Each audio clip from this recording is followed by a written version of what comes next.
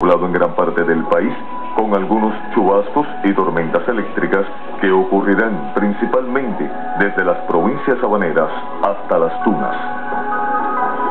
Será hoy un día caluroso, con temperaturas que oscilarán entre 32 y 35 grados Celsius, superiores en algunas localidades.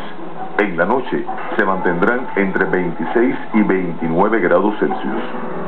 Los vientos serán de región este en la mitad oriental y con brisas marinas en el resto del país, con velocidades entre 10 y 25 kilómetros por hora hasta el anochecer. Habrá oleaje en ambas costas de la región oriental y poco oleaje en el resto de los litorales.